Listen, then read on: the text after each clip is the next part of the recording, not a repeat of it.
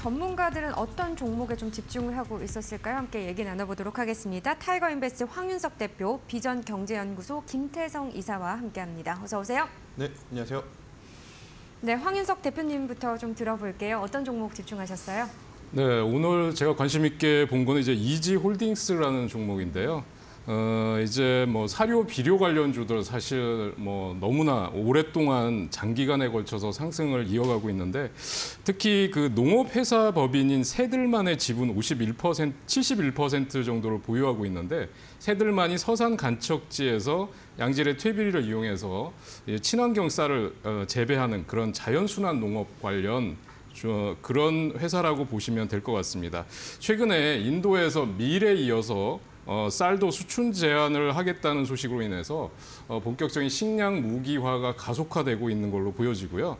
그래서 폭등하는 밀 가격 대비해서는 쌀 가격이 여전히 저평가돼 있다라는 인식으로 인해서 베트남과 태국 쪽의 관리들이 만나서 수출가 인상을 담합 논의를 하고 있다라는 뉴스도 나왔습니다. 그래서 어, 자회사인 이지바이오 또는 팜스토리 같은 종목들이 동반 상승이 나왔고요. 어, 보면 오늘 장에서 신송홀딩스 같은 종목들도 급등을 하고 있습니다. 어, 그래서 어, 지금 이 쌀값 상승과 관련돼서 움직이고 있는데 이지홀딩스는 이것뿐만 아니라 마니커라든지 뭐 이런 자회사들 쪽의 실적도 좋은 기업입니다.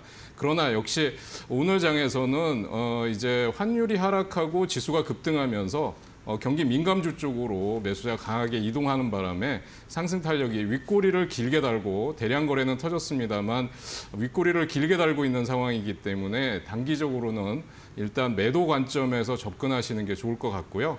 그래서 어, 지금 환율 하락 수혜주들 쪽으로 공략을 하시는 게 훨씬 더 단기 수익이 높아질 것으로 기대를 하고 있습니다.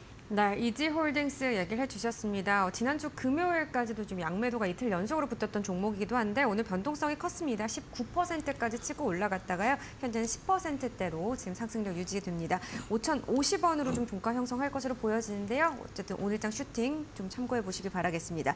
이지홀딩스이었고요. 두 번째 종목 알아보겠습니다. 김태정 이사님.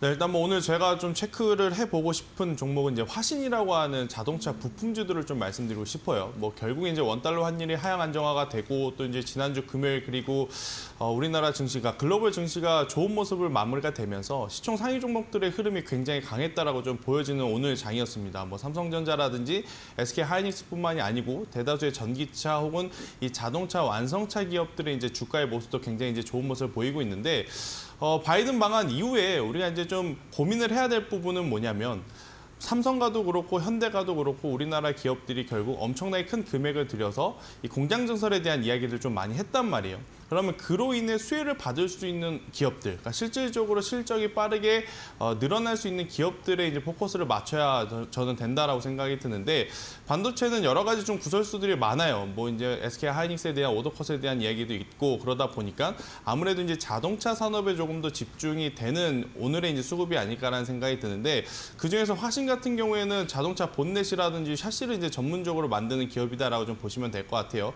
아무래도 이제 미국 공장으로의 이제 진출 진출로 인해서 어, 그동안에 예를 들어서 하루에 뭐 10개가 소요가 됐다면 이제는 뭐 15개, 20개 굉장히 더 많이 소요될 수 있는 그러한 상황이다 보니까 당연히 그에 따른 실적의 성장 가능성 혹은 외형의 성장 충분히 일어날 수 있다라고 좀 말씀드릴 수 있을 것 같고 자동차 산업은 어, 과거에 이제 내연기관에서 전기차로 넘어가면서 앞으로 정말 성장할 수 있는 모멘텀을 굉장히 크게 가져가고 있는 상황이다라고 좀 볼 수가 있어서 어, 이 자동차 부품 관련주들 음, 그 중에서 실제로 이제 기술력이 높거나 실적이 잘 나오는 기업들 위주로는 저는 지금 위치에서도 체크를 해봐야 되지 않을까라는 이야기를 드리면서 오늘 그 힌트를 화신이라고 하는 기업이 좀 주지 않았나 뭐 거래량도 굉장히 좋았었고 그리고 이제 전 고점을 향해 이제 어, 가는 모습도 굉장히 좋았다라는 의견 드려보도록 하겠습니다. 네, 알겠습니다. 화신에 대해서 좀 언급을 해주셨네요. 오늘 11.19%대로 지금 마감할 것으로 보여지는데요. 9,540원 흐름이고 지금 3월 중순부터 좀 저점을 찍으면서 거래량이 함께 동반하며 지금 상승력을 보여주고 있는 종목이기도 합니다.